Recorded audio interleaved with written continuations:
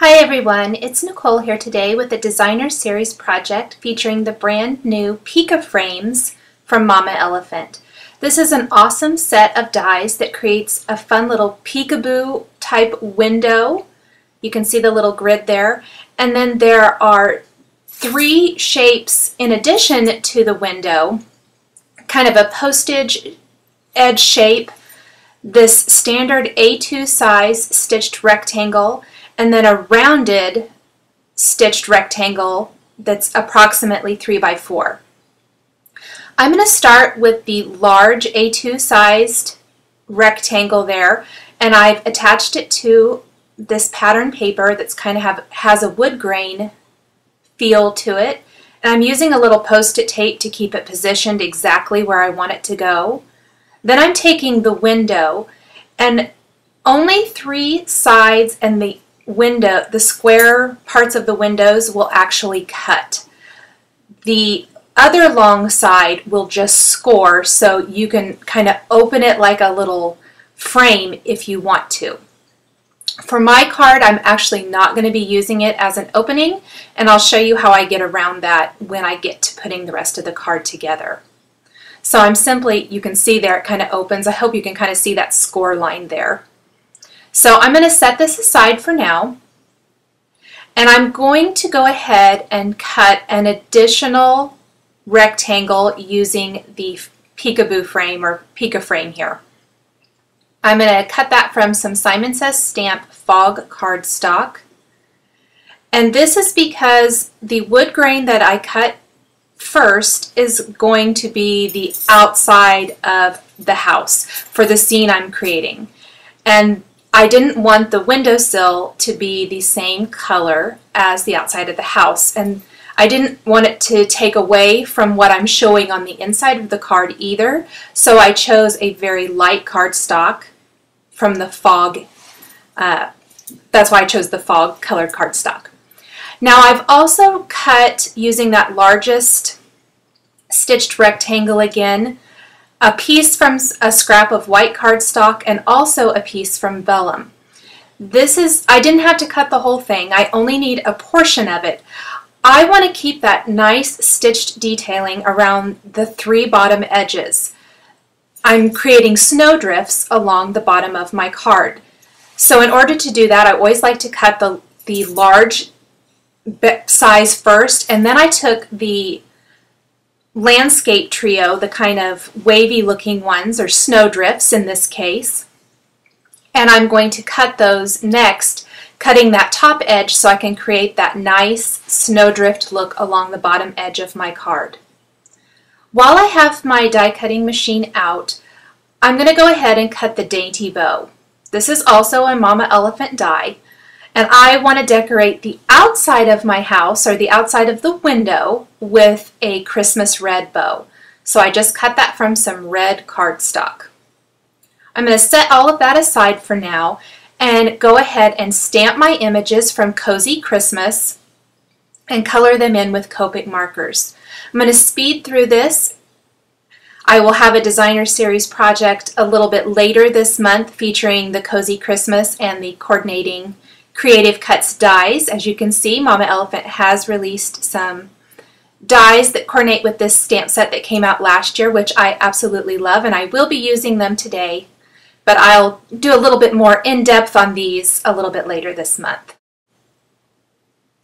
To color in my trees, I'm using a feathering technique, and I started with one of my darker colors, and I'm simply laying the brush tip down and kind of flicking it down in quick strokes. So I want where each layer of the tree overhangs to be slightly darker than the rest of the tree. This is a really fun tree to color.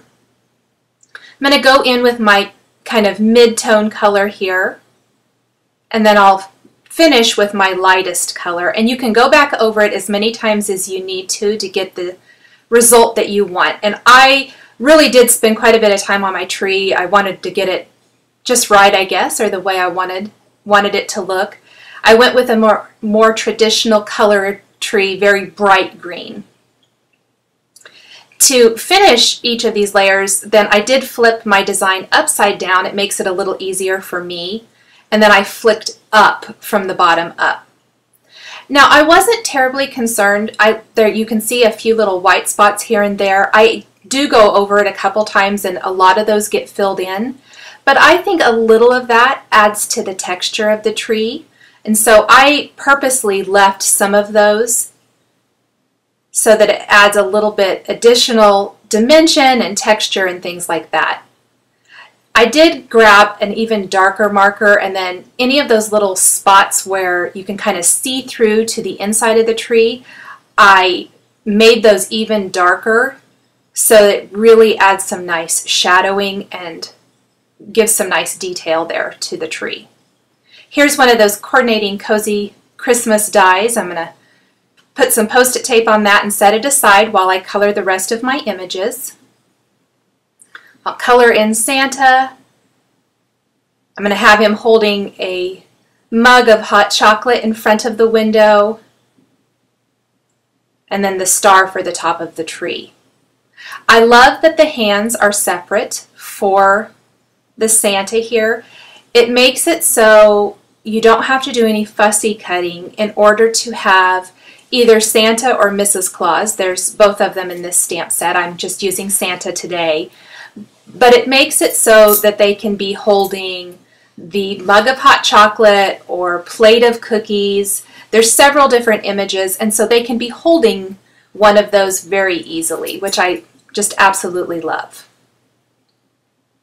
Now, I started with a very light red color, and then I went back in with my darkest, deepest red to add my shading and detailing. And then I took my mid-tone color to kind of blend it all out.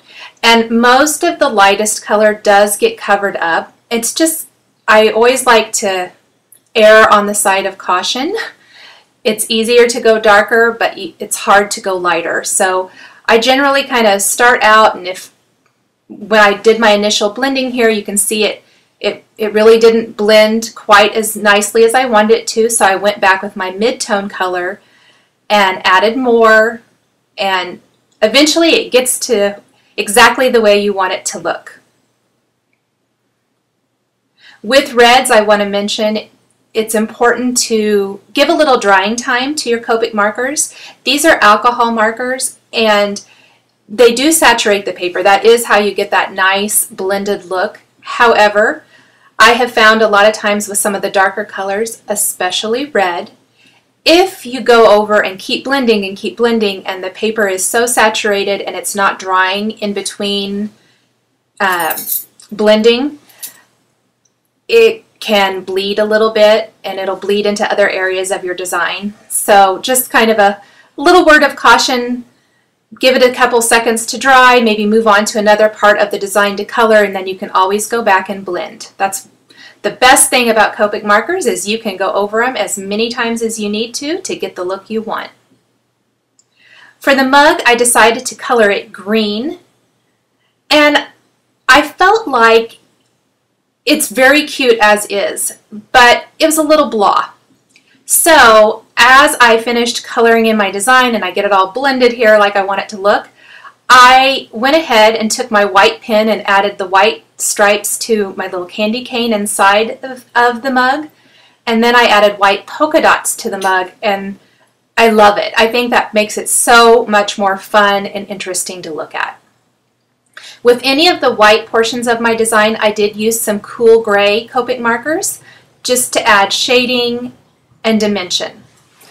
Now you might see here I have my card base and I used that card front that I cut originally from the wood grain paper to kind of to make sure I can line up the opening for the inside of my card.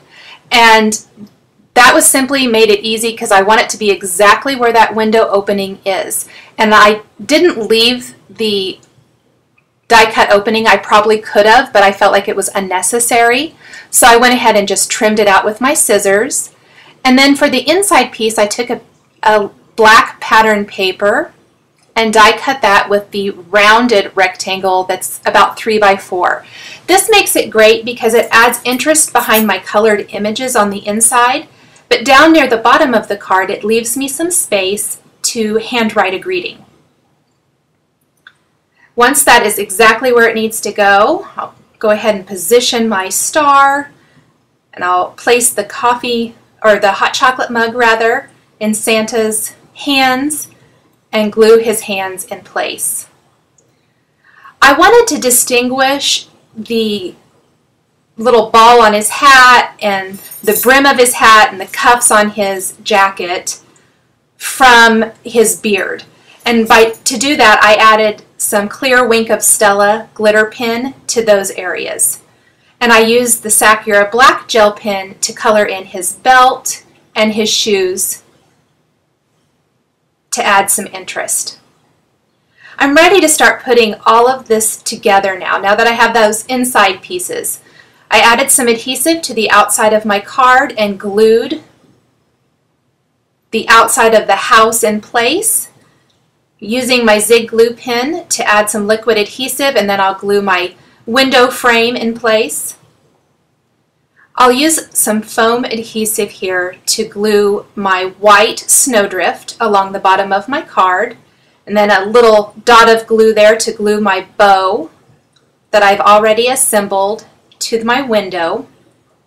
Now for the vellum snowdrift, this is where I'm going to add my greeting. I'm going to stamp that. This is a greeting also from Cozy Christmas with some Versamark ink. And I'll sprinkle on some silver embossing powder and heat set that. To attach it, I like to just kind of carefully apply some glue just along the edges and then back behind where I have the embossing on the greeting. And then I'll place that right over the white snowdrift.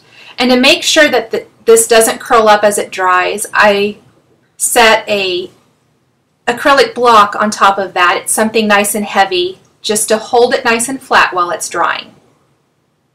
Got some embossing powder all over the place that I need to wipe out of the way. Now I'm ready to attach the panel on the inside and I want to make sure it's lined up correctly. So I kind of checked and double checked that and that looks perfect. One last thing that I want to do for the outside of the card and that's to add some kind of faux snowflakes here and I decided to do, to do that with these cute little pretty pink posh sequins. I'm using both the sparkling clear and also the marshmallow sequins. So I used the sparkling clear in both the 6 millimeter and 4 millimeter, and then the marshmallow in the 4 millimeter. I'm gluing those onto my card with some matte medium and using the quick stick tool to get them or to have perfect placement. I hope you've enjoyed this video showcasing the brand new Peek A frames from Mama Elephant. For more information, please visit the Mama Elephant blog. Thanks for watching, and we'll catch you next time.